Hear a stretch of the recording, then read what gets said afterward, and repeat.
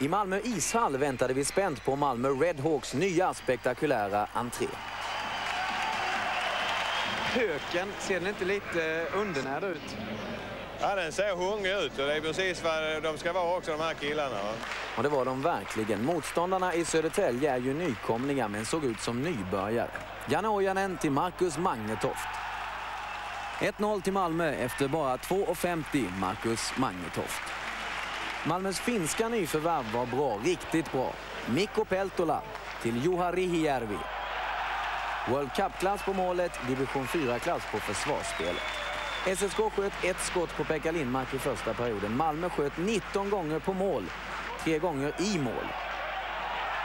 Fredrik Öberg, 3-0, borde varit minst det dubbla. Vi stod still på banan så att eh, det är inte mycket att säga. Vi kommer ut här i andra perioden och gör betydligt bättre. Du har sagt till killarna att de får tacklas. Ja.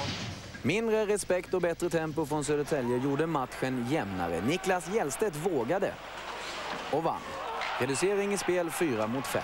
Men Malmö fortsatte sitt powerplay och då gick det bättre. Kari Harla till Kim Jonsson. Styrning Mikko Peltola 4-1. Ny period och nytt liv för Södertälje. Jonas Hed i skottläge. Mikael Samuelsson in bakom Pekka, reducerat igen efter 2.24. Och så numerärt överläge för SSK. Slarv av Butsayed och full fart på Ojanen.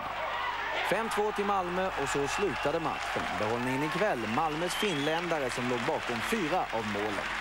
Ojanen tyckte jag var jättebra genomgående och Rijärvi fick pris som bästa spelare på isen så att det, det var väl rätt. Eh, betyg på den här matchen eh, mellan 1 och 5? Ja, jag tycker en fyra är på sin plats för, tack vare första perioden.